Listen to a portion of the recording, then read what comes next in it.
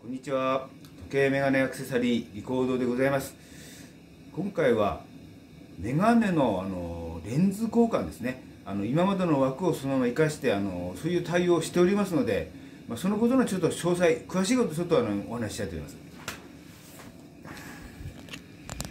あのメガネレンズね今までのメガネがあのまあねフレームの方が別にこう何でもなければですね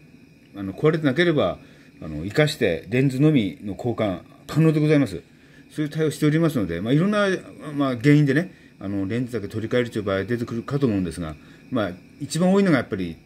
度数が合わなくなったと。ちょっと見づらくなったとね。そういう原因であとはあの傷がついて、まあ、ちょっと傷がいっぱいついてこうコーティングが剥がれちゃってですね。